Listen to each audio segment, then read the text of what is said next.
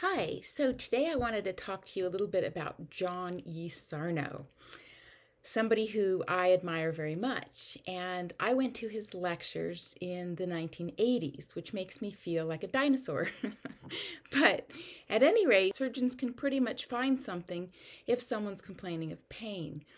So his explorations are, um, he has some wonderful books. My favorite is Mind Body Prescription one that's a little more psychologically oriented is the, the divided mind but one that is more accessible and really applicable would be the mind body prescription.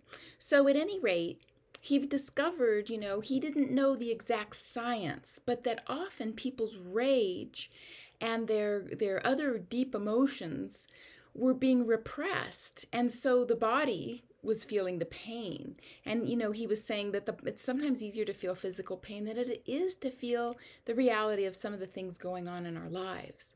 I know, you know, personally, this was I was affected in a couple of ways that I'll tell you soon. But even the international uh, the International Association for the Study of Pain has changed their definition. And this is the way they define pain. It's defined as an unpleasant sensory or emotional experience with actual or potential tissue damage. Potential tissue damage. So there are so many people now that are starting to find the science behind what John Sarno proposed, what he theorized. There's a man named Lorimer Moseley who is a fascinating guy in Australia, and he'll say that pain is created 100% of the time by the brain.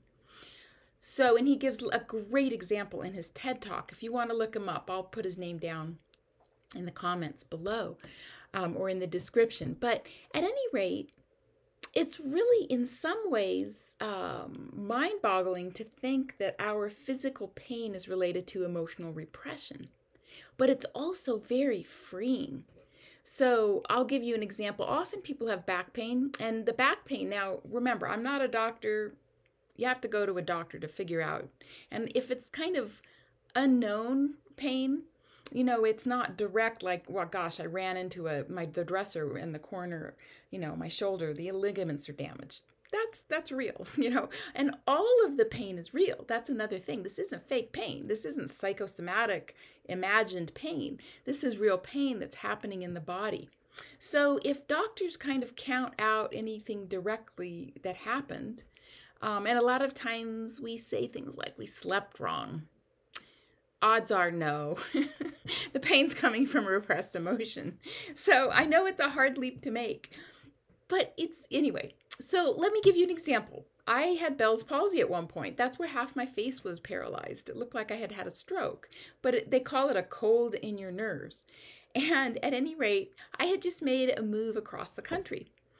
And I didn't really want to make the move, but I was being a trooper and you know, I just I didn't feel kindred with the place really. I didn't like the weather, everything about it. I was very far from family and I was just, you know, getting pregnant and having kids and I just I felt lonely and there was so much going on for me emotionally, but I was a trooper.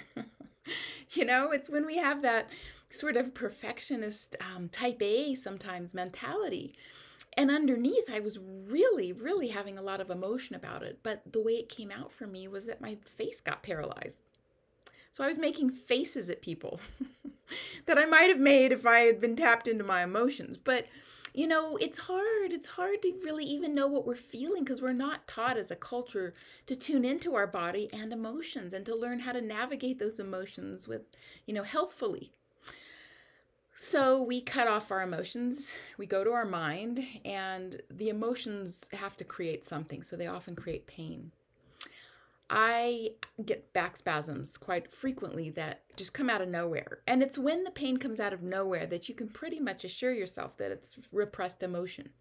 And that's why I see people um, who are often seeing doctors who understand the meth Sarno method, and I'm helping the clients with the emotional aspect.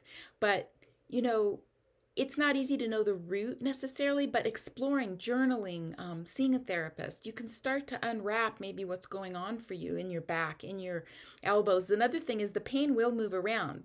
Once you kind of figure this concept out and you don't let it rule your life, um, then what happens is, is it moves around a little bit. You might get suddenly sinus infection or elbow pain or knee pain. I've had it move around my body. So um, it's it's just not always an easy concept to grasp. Um, but his books are really helpful because that's where you want to go. You know, he talks about personality types and you know who has a tendency towards this. Um, and also, he has a wonderful documentary called All the Rage. So check out All the Rage, check out his books. And um, I'm just trying to think if I missed anything. I'm sure I have. um, oh, big one placebo. You know, I really believe in acupuncture, but on the same token, a lot of times when we're treating something that the root is the repression of emotion, you're going to have it be a placebo. You're going to feel good for a month and it's going to come back. And then you're going to be disappointed, you know, and have to go back again. So a lot of times the treatments we seek are placebos. Um, and, and you know, there's other times where we really need to see an acupuncturist or a chiropractor, but a lot of times, you know, it's we don't need to. It's placebo. You'll feel better for a bit and then it's going to come back. So that's one of the things he really talks about um, or maybe the back pain will get better and then you have elbow pain. So it's really important to be tuning into the body and tuning into the emotions. And I hope this has been helpful and that you've learned a little more about Sarno if you're curious. So take good care.